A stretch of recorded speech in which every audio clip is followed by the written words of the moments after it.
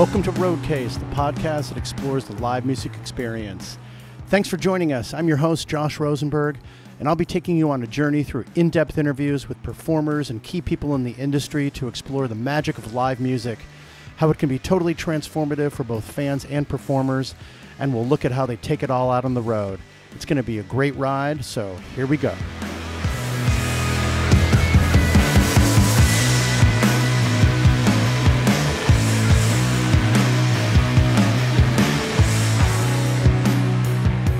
Okay, welcome back to Roadcase, everybody. This is your host, Josh Rosenberg, and thanks for joining me for this special episode where we will focus on mental health issues and services for touring professionals, and we'll learn more about that in a few minutes. Um, as I start out every episode, I want to encourage the listeners um, and primarily thank uh, listeners for supporting Roadcase. And if you haven't done so, I'd like to encourage you to get involved with the Roadcase community. Um, and you can support uh, Roadcase in a number of different ways. Uh, primarily, you can go to Patreon, where there is a system that's set up to help support financially Roadcase. Uh, you can think of it as uh, subscription, and for uh, the price of a cup of coffee a month, you can help me continue to bring these great episodes uh, to listeners and uh, show support for Roadcase that way. And you can find our Patreon at patreon.com slash roadcasepod. Um, of course, if you can't swing that, it's totally understandable. There are other ways that you can get involved, one of which is to rate and review this podcast on uh, the platform that you're listening to. And you can find this podcast on your favorite listening platform. And while you're there, uh, if you do rate or say a couple good words about Roadcase, um, that goes a long way as well, and that is free of charge to do so. Uh, you can also follow Roadcase on social media Instagram, Twitter, and Facebook and get involved that way. Or you can also get involved by shooting me an email at info at roadcasepod.com.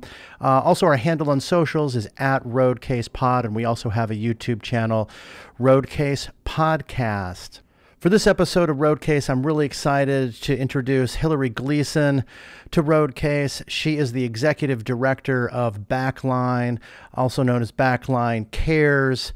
Backline is a nonprofit mental health organization that provides mental health and wellness resources to music industry professionals. And by that, I mean that uh, you can find a therapist and wellness resources through Backline by calling a phone number that Backline uh, can provide to you. And it's basically a centralized resources, a centralized resource for those in the music industry to begin that mental health journey it's very difficult to be on the road and you don't just leave your problems behind. And Hilary brings her a global health background, a background in nonprofits in New York, working for an organization called Global Citizen. Uh, she also has a consulting firm called Level Consulting where she connects businesses and bands.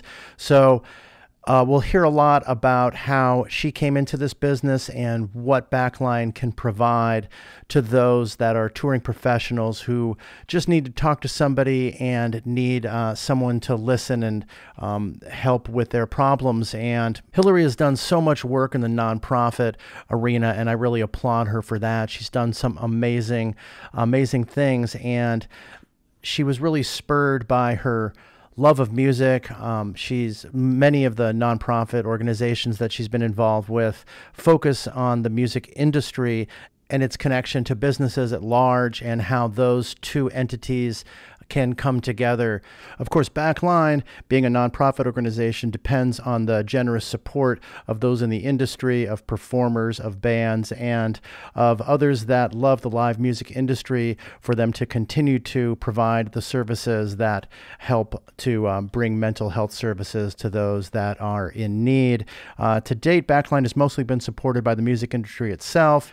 There's been a number of different initiatives, such as uh, a ticket fees or a portion of merch or venues kicking in a couple dollars, and we'll talk about that a little bit. Um, but really importantly, there will be an online stream to benefit Backline, and that's coming up on April 10th. It will be on the Relix channel on Twitch. So I hope that everyone gets involved with that and donates generously to Backline.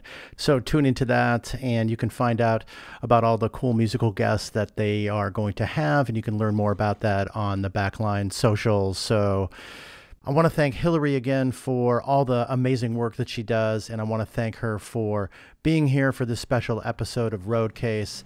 And thanks to all of you for tuning in and giving a listen to this special episode. And here we go.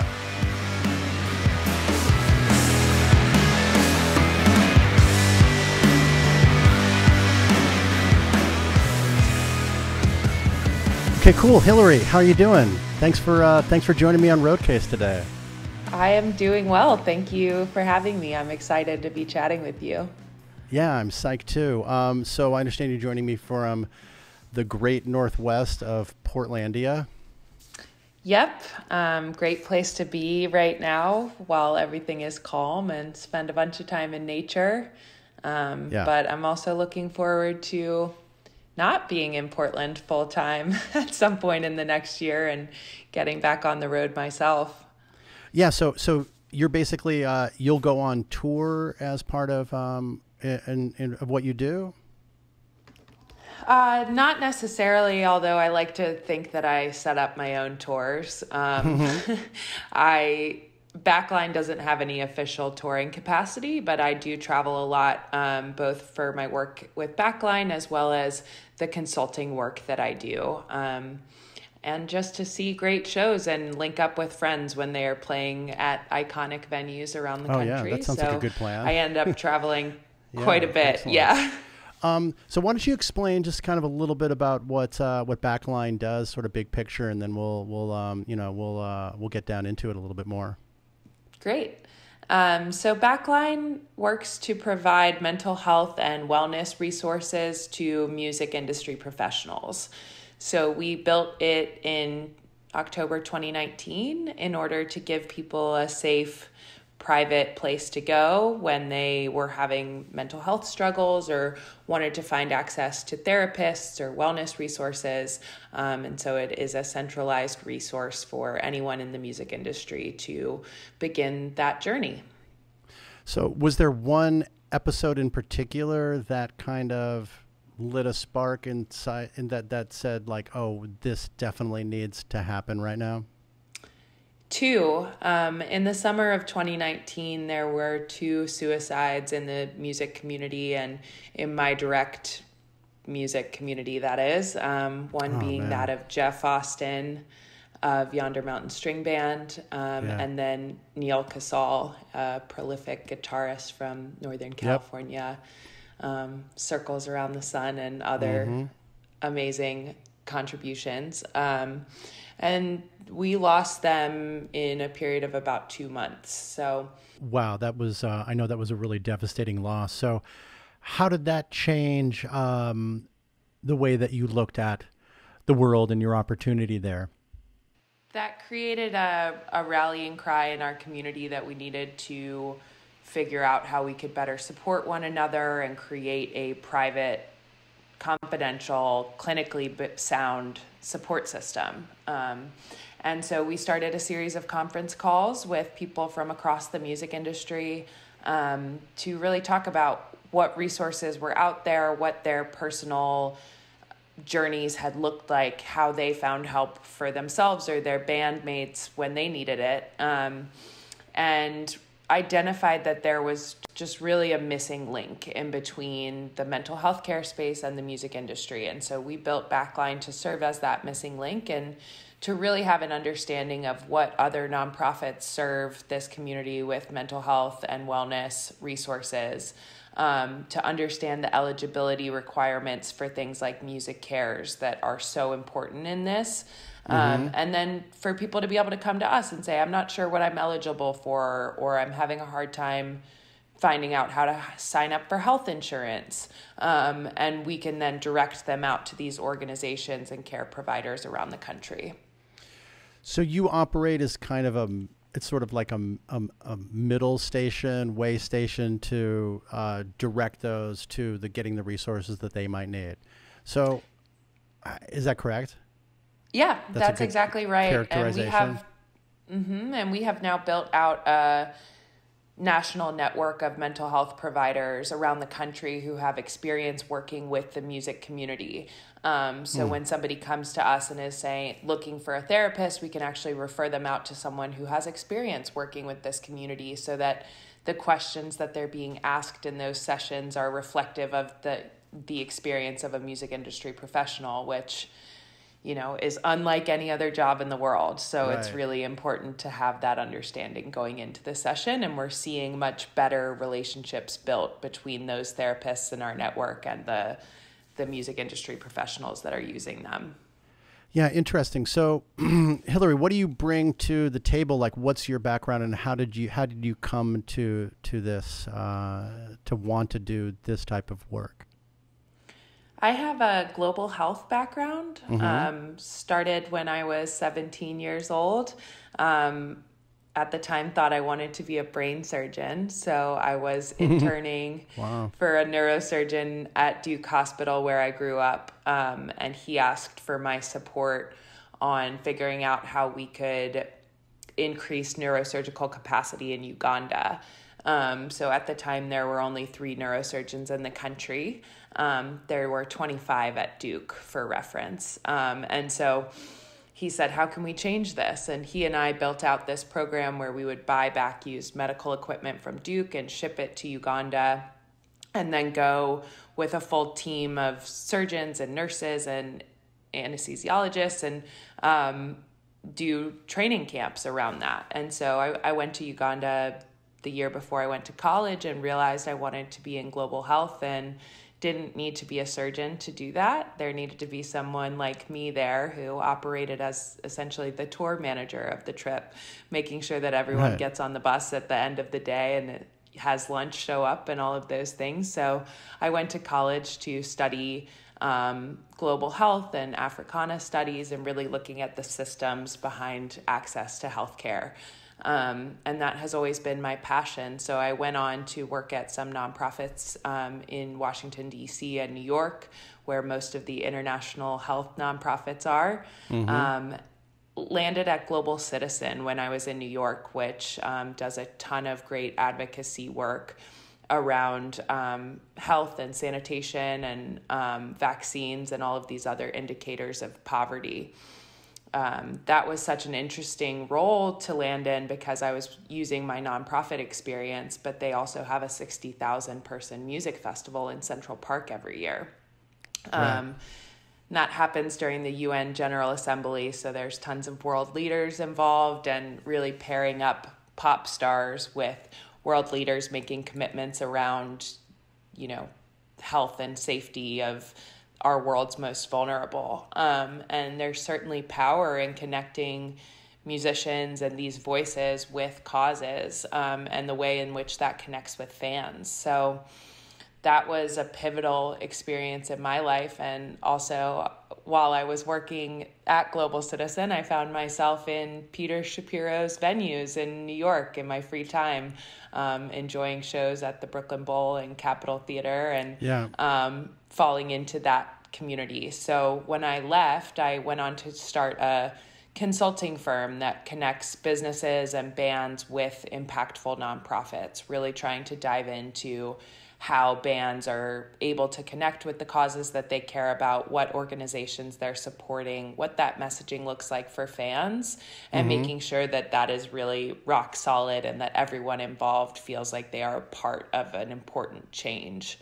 Um, so I have been doing that now for three and a half years, and that's what I bring to the table is wow. um, the belief that everyone should have access to healthcare um, and that everyone should have access to music. And I think that the way that the two are overlapping now in its current capacity is um, a really beautiful thing. And and I have gotten so much from music in my life, being a lifelong music fan. Um, my dad took me to see a lot of shows when I was super, super young, and yeah, it has certainly been the soundtrack of my life.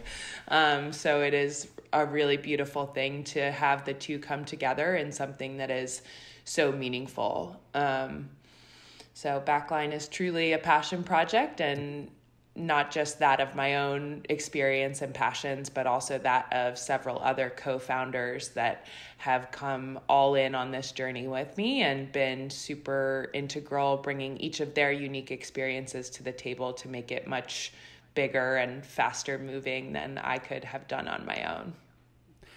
Wow, that's amazing. So this prior uh, project was called Global Citizen, or is that the name of the con- that's the name of the concert that occurs, or it's that's all the that's name all of the of concert and the nonprofit. Yeah. Interesting. So how far did that go along in terms of getting bands involved in supporting different causes? So Global Citizen is still active today. They are doing a ton of work. Um, every every time I turn around, they are announcing something else. Um, so I believe they started in something like 2008 and continue mm-hmm. to have that festival every year um, and are doing a ton of great work. And then uh, my consulting firm also continues to to do work. We have a couple clients, including Rex Foundation and Sweet Relief Musicians Fund, and I've right. hired a great team there to um, pick up my slack as I am really trying to be focused on the backline space right now as much as I can be because our need for services has certainly grown quite a bit over the past year. Right.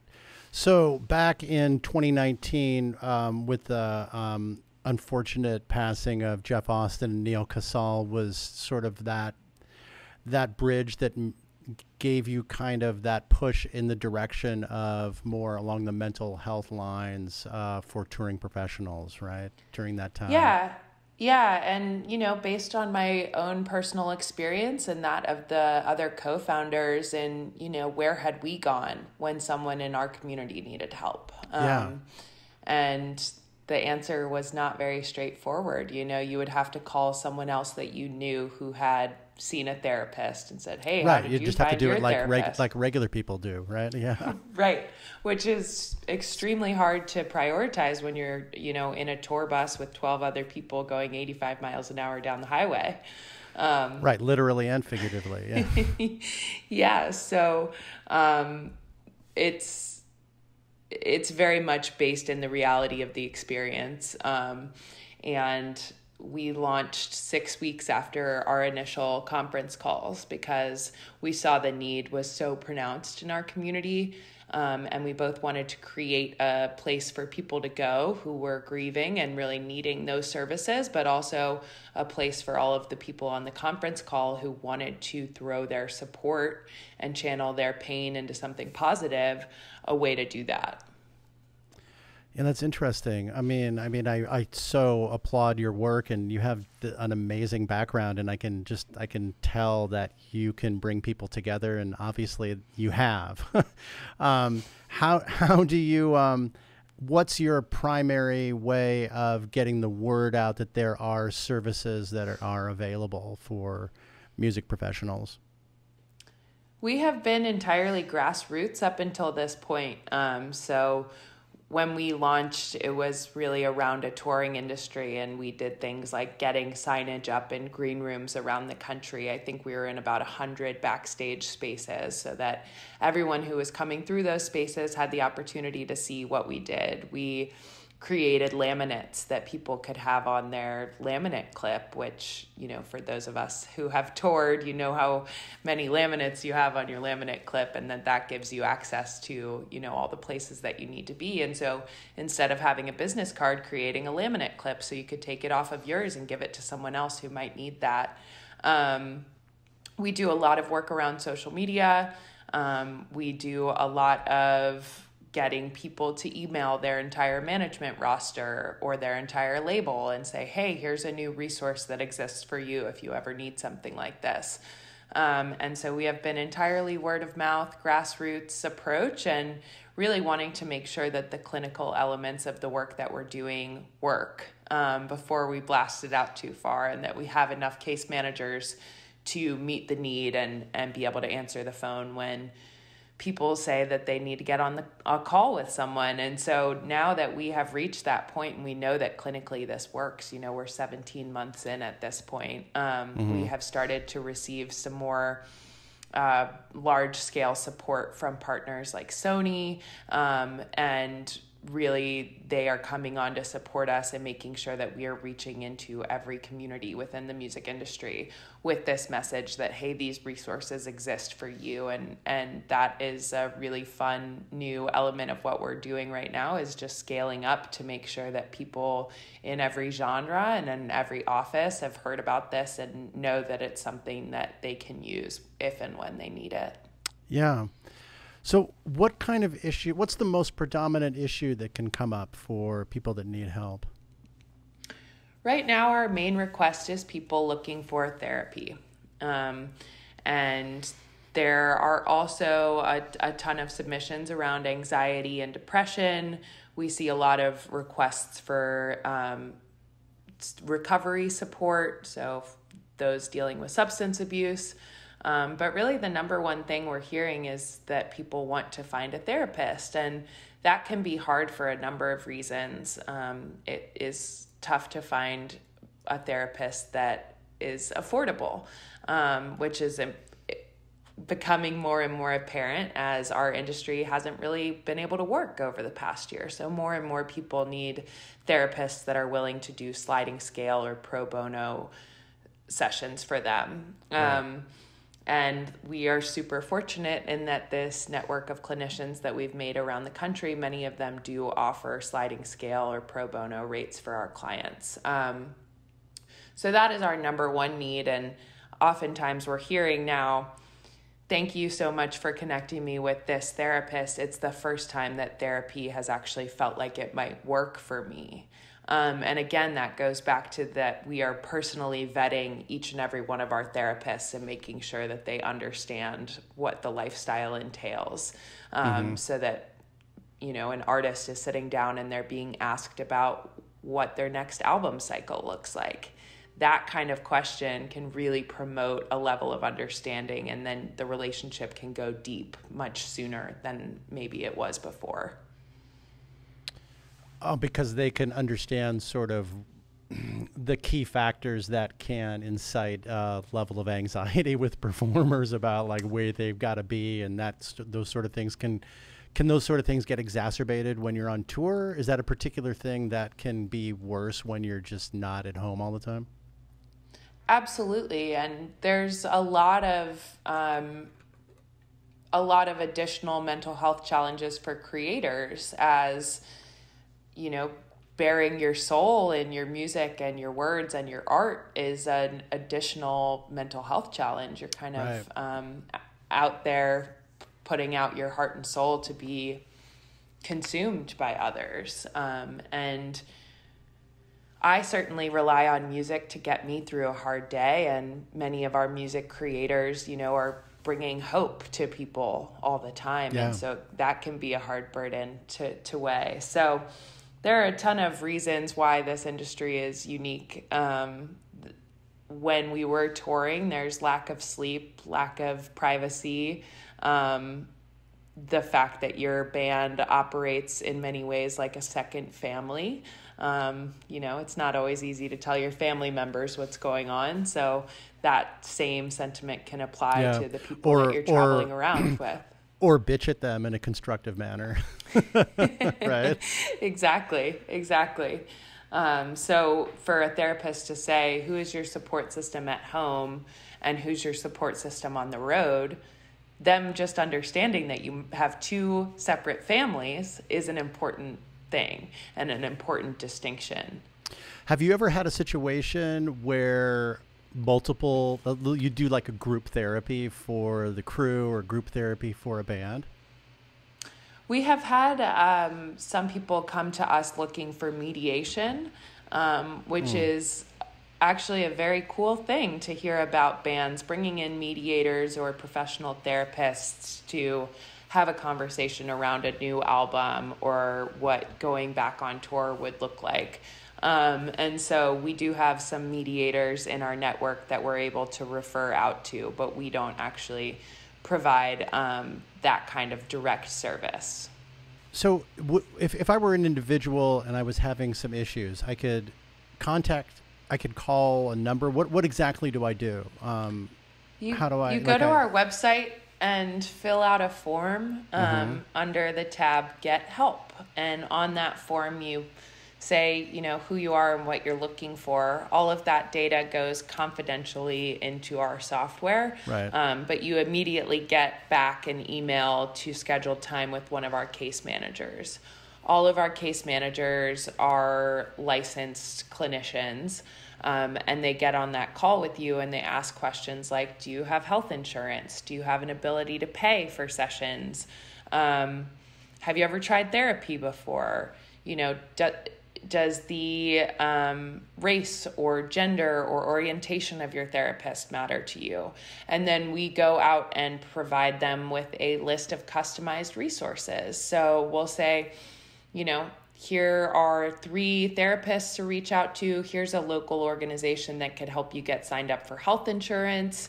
Um, and here is a scholarship grant available from one of our partners that can help cover the costs of therapy. So, really taking that assessment moment as an opportunity to really dive into the specifics of their unique situation so that the resources that we're providing to them are available and accessible to them specifically. Um, and that is a game changer as well. So our clients will then take that information and reach out to, you know, the organizations or therapists on their own. If for some reason they couldn't get in with any of those therapists, they can always come back to us and, you know, or say, I think I'm ready to try a different modality or do you have any wellness resources because I think starting a meditation practice could be helpful in addition to what I'm doing. And so our case managers exist to really be your super smart friend who understands the mental health care landscape and is willing to go to the ends of their ability to help you get the right kind of help and make sure that you feel great about the people that you're working with on your mental health journey and that you're not having trouble accessing care for any reason. Right. So, um, the case managers are they hired by Backline or do are they working pro bono for you?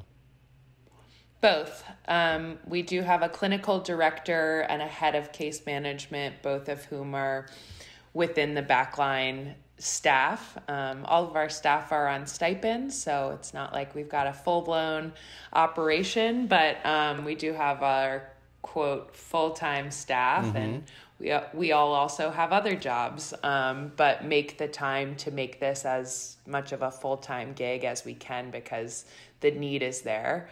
Um, and then we also have some volunteer case managers that are being onboarded by that clinical staff um, and managed by them, but are each offering a couple hours a week to take these calls and to help make sure that we can see more and more people. And is that type of relationship the same sort of uh, financial arrangement and economic arrangement that you have with the the therapist that the case managers will refer to, or is that kind of on a case by case basis? That's all on a case by case basis. Um, we don't pay out any therapists directly because we are really just give, giving them client referrals. So we tell the clients, you know, reach out to these three therapists and they are offering $50 rates for backline clients. Um, and then it's up to them to pay each other. You know, we see ourselves out at that point. And so by operating as a referral network, we are able to do the work that we do really well and leave some parts out of it so that we're not, you know, biting off more than we can chew. Wow, it's a grind of a lifestyle, right? I mean, that's kind of those are the things that are that are that are coming out. And I, you know, I talk to a lot of people on this show, and uh, you know, most of the touring people that we talk to, you know, they'll they'll talk about how hard touring is, the ways that they can manage it, and and um, you know, mental health is really right at the top of that. So. Um, I think people are aware of uh, the issues and are aware that there's um, that there uh, is a danger to kind of fall to go down into that rabbit hole for sure. Um, are you seeing that change? Is it worse than what you had seen before? Like, what's kind of the what's the path that we're that we're on right now?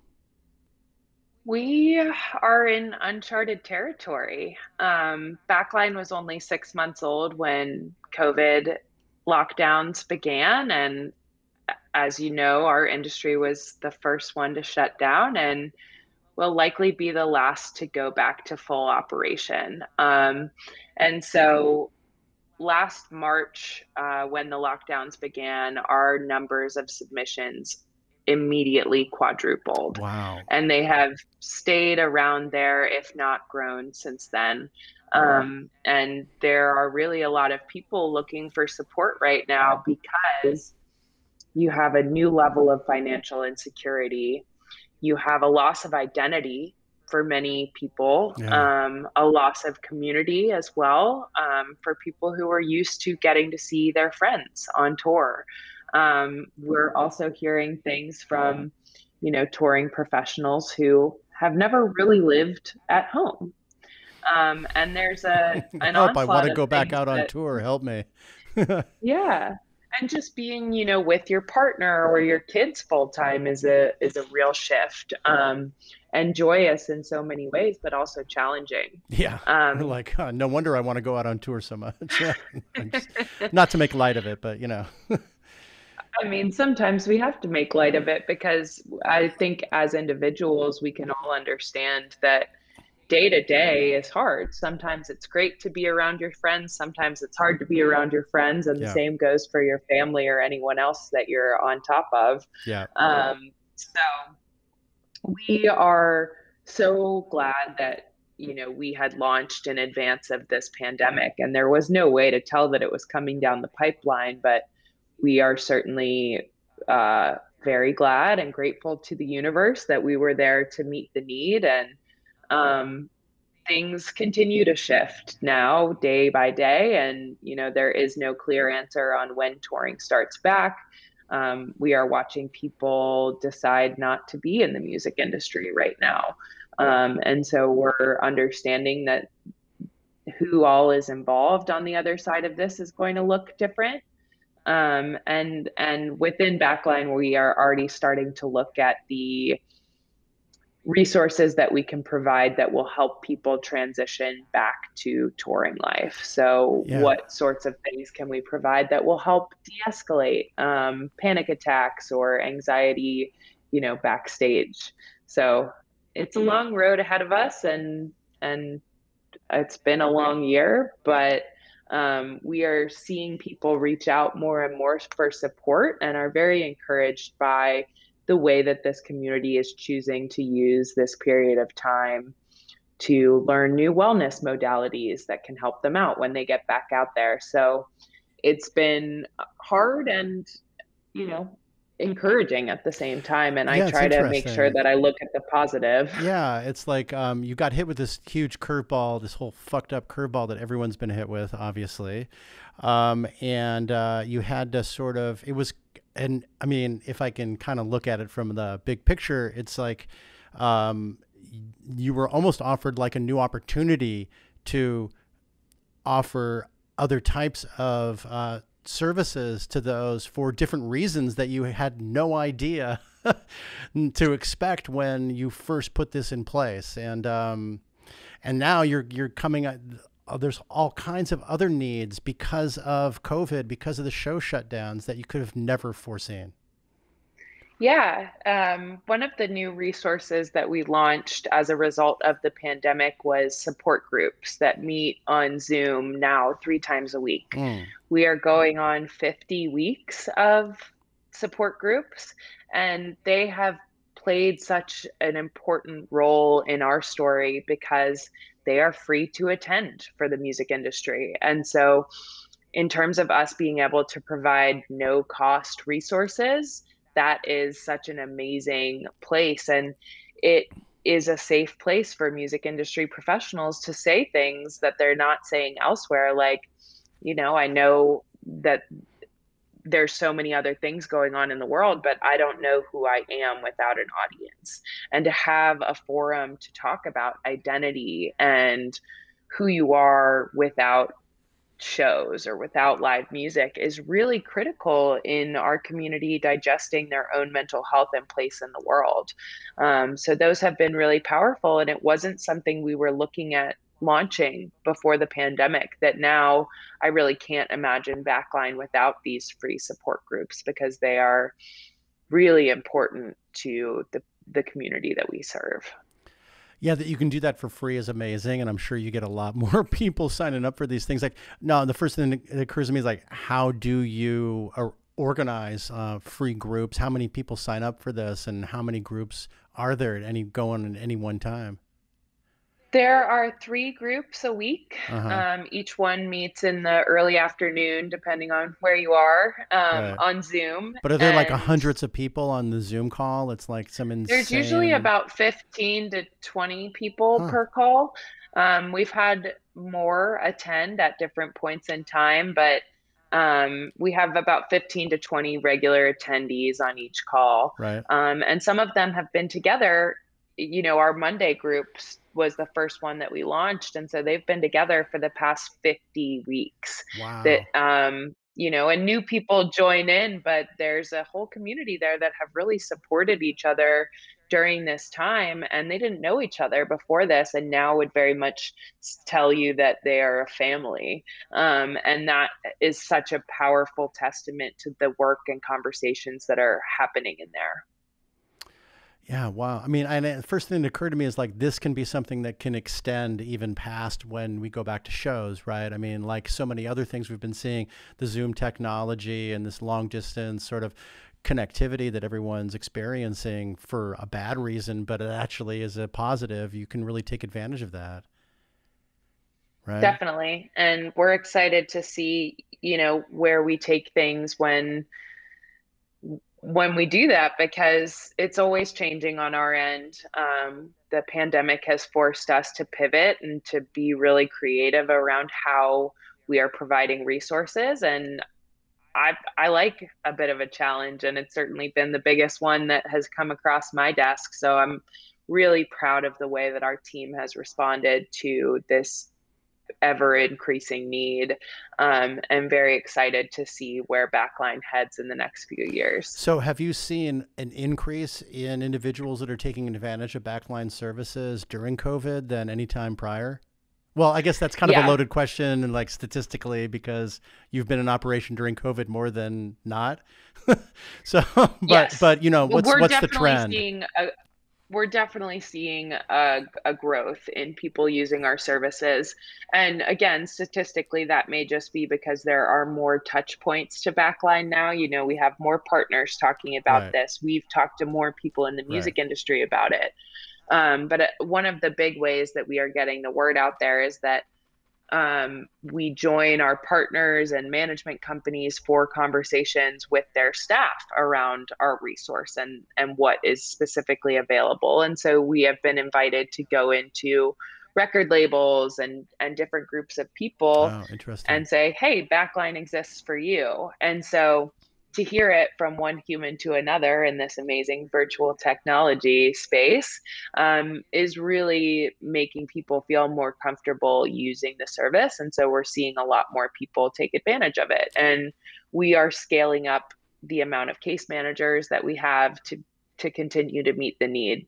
Um, yeah, so yeah, that's exciting yeah. too. Is is just being able to see you know clinically how we're growing and and that right. we're committed to scaling up. Yeah so as you reach more into uh, the touring world because you have case managers and therapists that are well versed in the music industry and live music industry in particular you're able to branch out and go into the music industry at large. Is that that's kind of the direction yeah. Um, and from our onset, we have set out to serve the industry as a whole. Um, so we see everyone from artists to photographers. record label executives, agents, um, as well as anyone in the music industry's family member, recognizing that you are, if you are an artist or a manager and you your wife is having a hard time or your sister's having a hard time, that's going to affect your mental health as well. And so right. we view it as an ecosystem and and have pretty broad eligibility requirements around who can use our services because we want to make sure that anyone out there that is part of making the music happen and that includes partners and families and support systems that they have the resources that they need to be happy and, and healthy. Yeah, so we started out talking a lot about touring professionals, but it's it's really kind of was I going in too specific, or is it like is it just the it's the music industry? You're you're you're providing services for the music industry at large.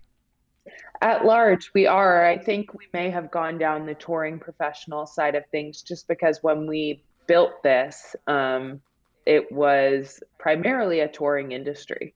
Um, and so that is where most of the money lied at that time. Mm-hmm. Um, and most of the bands that that we know were having to tour to make ends meet. Um, and so now things have certainly shifted, and people are figuring out lots of different ways. And we may not see the touring industry come back in the same capacity that it did before, um, but we do serve the industry as a whole, and I think we were just talking about how hard it can be for touring professionals to get help when they are, you know, in a different city every day. But it's also hard for music industries and any uh, music industry professionals in any capacity to get the resources that they need. Or anyone in anywhere to have some kind of like way that they can confidentially show up and tell somebody that they're having a hard time and they need some help. Absolutely. It's kind of a broader you're solving a broader issue in a in a in in, in a particular industry. Yes, and I think that more and more we're seeing um, other organizations pop up to serve industries because mental health journeys look different for everyone, um, and so it's really hard to you know provide resources for people across the board. Right. If somebody had figured out how to do that, then we would not be having this conversation. Right. Um, but to have sort of niche industry specific organizations popping up that truly understand the lifestyle and truly understand the need, that I think is where we're going to see real change happen. Well, are you saying that? I mean, there, there must be other industries where this type of model has been executed and is still in place, right? I mean, I'm making an assumption Not, there. Is this like a special industry for these kind of needs, or you know, I mean, or is it, it, it yeah, we are starting to see other industries reach out to us to learn more about our model. Um, for example, wanting to bring a similar organization to support restaurant and and hospitality industry professionals, um, which is something you know we don't have the capacity to do that. Right. We've got hundreds of thousands of people in the music industry that we have to figure out how to serve, but happy like, to share resources problem, on how. no, I'm kidding. no, I mean figure it out yourself, just like, like I did. You... no, kind of the opposite. Like happy to show you the ropes yeah, yeah, if you yeah, can build a similar thing for. And I don't understand, you know, how the restaurant industry works, but I think the two are very similar in that there is no centralized leadership so you know the well, you're, you're, NFL you're, you're also a, forward facing to the public, which can be harsh. Totally. And kind of may may or may not. I mean, you know, way more than I do, but it, I would sort of think it kind of brings along the same sort of some some of the same mental stressors. Possibly. Are there other? Possibly. Are there any other? Are there other industries that have approached you? Um, I have heard from the commercial fishing industry. Huh. That's interesting. Yeah. I mean, lots of time away from home for them as well. Yeah, interesting. God, I think of uh, the Deadliest Catch. So yeah, they could they could use some uh, some therapy. That's for sure. The way they treat each other. um, let's talk about funding. Um, how are you doing in that area? What do you need? Uh, who are your major sponsors? Um, we are doing all right. Um, although that has shifted quite a bit as a result of the pandemic as well. Um, so, one of the amazing things about Backline thus far is that we have really been supported by the music industry, um, and that means financially as well. So, one of our biggest champions is uh, Billy Strings, amazing musician, dear friend of mine, and from the outset has been so supportive of Backline um, doing merchandise liquidation sales to benefit Backline, mm. doing streams and and a portion of tickets to support us. Yeah, um, I just I just watched his stream and uh, I donated to Backline, so there you go. there you go. So we have seen a lot of that kind of support, um, and we're planning to see a lot more of that in 2020. We had several in bands signed on to do. Uh, no, last year. Oh, you saw more um, of that in 20. Uh huh. Okay, yeah we we were we were forecasting a very healthy budget um, you know due to bands saying we will give you a dollar per ticket on this upcoming tour or wow. we're going to have a specific merch item that we're selling on this tour that will benefit you um, as well as venues supporting in the same way so every show that comes through in July of 2020 was supposed to have a surcharge to benefit Backline. And so we had all of these different elements that were going to help us have a really healthy budget. Right. Um, and I think that that narrative was so powerful because it was people from within the community that we serve saying, this is important to us, and we're going to look at our revenue streams and see what we can do to make sure that we are philanthropic and that we are giving back to our community. Um, so many of those things went away as a result of the pandemic. And so we really had to go back to a grassroots fundraising approach at that time and call out to music fans and say, you know, we are supporting your favorite musicians and all of the people who have a hand in making the music happen. Um, and we have seen amazing support from the fan community um, we have received several grants, which has been super helpful um, from friends like Positive Legacy and Rex Foundation, um, as well as recently got significant support from Sony Music Group, which is really exciting for us as they're a pretty big player yeah, and absolutely. their sign of approval is is incredible for us at this stage in our life. Um, but we are, you know, really trying to make it work in the funding world, and every donation helps. Um, right now, it costs us about $37 to provide mental health support to one person. So that in is for like life cycle for that person, or how? Well, yep. Okay. On a- um, on average, you've seen that that's on, that's the case with each individual comes in costs 37. Okay. Yeah. So that number is is important to us because you know I can't access mental health care for thirty seven dollars. No. Um, no, that's a great number to throw out there. Obviously, you know this. Like if you're trying to raise money, it's like help one person in the industry throw in thirty bucks, or you know, yeah, that's right. a good metric. Excellent metric. Yeah, so we've been talking a lot about that, and also just talking about you know how we've barely begun to scratch the surface of the needs in this community and as we scale up um, our marketing efforts to make sure that everyone in the music industry has heard about us. We also have to scale up our clinical efforts to make sure that we are ready to meet that need. And so um, we are out there talking about backline trying to find the right partners to support our efforts that want to scale with us make sure that we're doing that in the right way and in a way that is thoughtful and inclusive and um, appropriate for what we're trying to do. Yeah, is that a challenging aspect? Is to get case managers and therapists on board uh, doing either pro bono work or at you know sliding scale rates? Um, it's we have a lot of therapists coming to us that are hearing about this and and really supportive.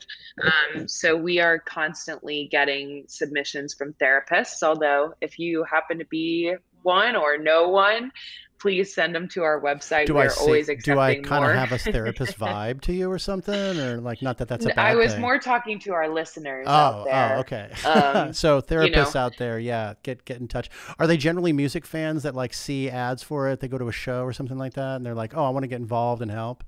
I want to. I yeah. want. I want to meet and, some of the performers. Also, no, no, that's kind of what our vetting process is trying to weed out. Yeah, um, right. is is that exactly? I'll thing, help you but, for a backstage pass. Yeah, that's exactly what you want to avoid. right. Um, but we do have a lot of our industry connections and artist connections getting their therapists to sign up to help other people, saying this is a therapist who really gets it, and I think they should be part of the Backline Network, um, which is fabulous. And um, a lot of people, yeah, we there were therapists watching the Billy Strings stream last week that heard about us and wanted to be a part of it. And so right. our team will be getting on the phone with them over the next few weeks to do that vetting call and make sure that everything is lined up and that we have an understanding of, you know, what their sliding scale rates are and um, yeah. we are always growing that network. I love that. I love how it's just snowballing and getting to more people in the way that it does in such an organic fashion, and that individuals contact you from different branches of what you do. I mean, I think that's amazing. And like, uh, venue owners and promoters should have like an extra dollar like uh, oh do you want you know when you buy your ticket do you want to donate to backline also? I think so many people click a dollar right? Yeah so uh, so many of those things are in the works and we uh, you know are ready to go back out and work with our industry partners to make sure that they're taken care of. So in the example of a venue them having a dollar add-on really benefits us and it benefits their staff too you know their staff to know that they're supported to know about this resource that they can get free support when they need it. And so in many ways it's a collective pot for our community. So when an artist or a venue decides to support Backline, that could actually be used by one of their crew members. Yeah, um, yeah. I mean, it all, it's, so it's very, very self-perpetuating because I mean, Sony's in it. They're like a big, huge name, and other huge names. They only have an interest in the mental health of the the professionals that are the, the creative professionals and the crew that help support them either on the road or in the studio or whatever they're doing. It's like it's about just the general health of the industry at large, just benefits all of the larger names and everyone else right? Yeah it, it is uh, what what i like to say is that a rising tide lifts all boats and that is really Why what we're I trying to do here. That's exactly what i wanted to say. Like, yeah. Well you do the marketing pitch all the time so yeah rising tide uh, yeah. Rises what is it again? Lifts all boats. lifts boats. lifts that's what i'm looking for. It's not like i'm in the words business or anything. Lifts all boats okay. Um, wow, that's great. You do such great work, Hilary, and um, um, I wish you so much luck with this. And I, I just want to applaud you so much for taking care of, um, of the mental health of those in the music industry. Thanks. A- it really is a way for me to give back to something that has given me so much throughout the years. So in that way, it's a little self fulfilling too. I want to make sure that the soundtrack of my life is continuing to grow and that new music is being created and that all of those people feel supported in, in doing that. So it is truly an honor. That's fantastic personal mission and that it dovetails into your professional mission mission as well is awesome. So uh I'll be donating to Backline whenever I can, and I hope that uh, that a lot of people do, and I hope all those big corporations uh, heed the call because it's a it's a phenomenal organization, and you're doing great work. So, thanks a lot for uh, for sharing everything about Backline, and um, God, I just I just wanted to help people. Me too. Thank you for being a part of spreading the word, and I will do our little bit of pitch here at the end. You can find more about us at www.backline.care um, or on social media at backline.care. There you go, www.backline.care. All right, right. And on social medias, the handles backline, just backline.care. Yeah. Right on, right on. Okay, there you go. Thanks so much, Hilary, for being with me and talking with me. I really appreciate your time. Thank you. Take care. Bye.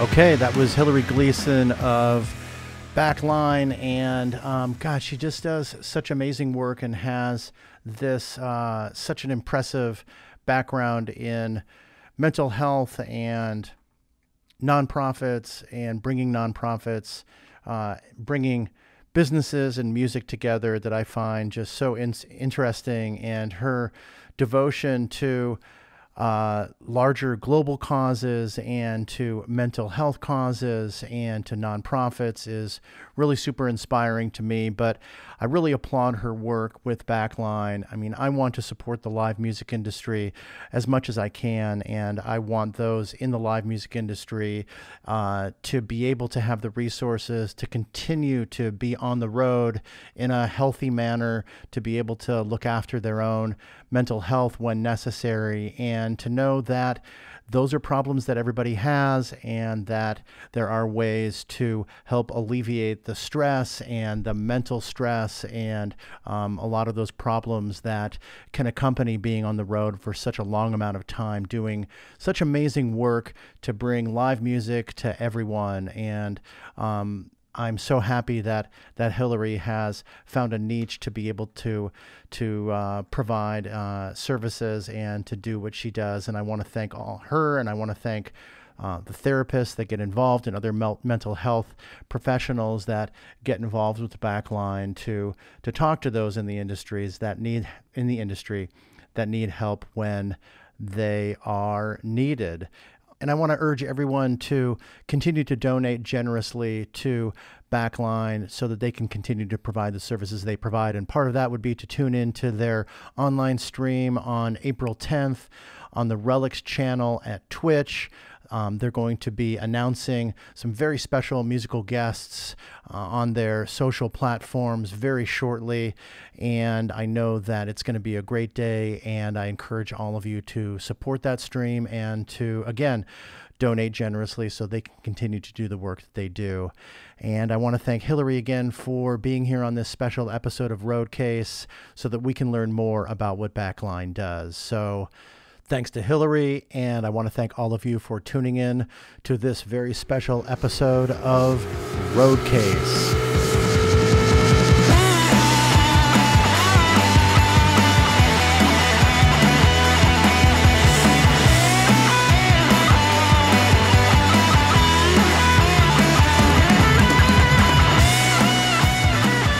Thanks again so much for listening. And I'd like to encourage everyone to get involved with Roadcase. You can do so in a number of different ways. You can email me at info at roadcasepod.com with questions, comments, and even suggestions for guests. Or you can follow us on the socials Instagram, Twitter, and Facebook. We're at RoadcasePod. And we have a YouTube channel called Roadcase Podcast. And if you are able to and like to support Roadcase, we have a Patreon site at patreon.com slash roadcasepod. And of course, you can subscribe to this podcast on your favorite listening platform. And if you could please rate and review the podcast while you're there, that would be great. So I want to thank Waltzer for this awesome theme music that we have. And I want to thank all of you for tuning in and listening to Roadcase. We have a lot of great episodes coming up, so I'll see you on down the road.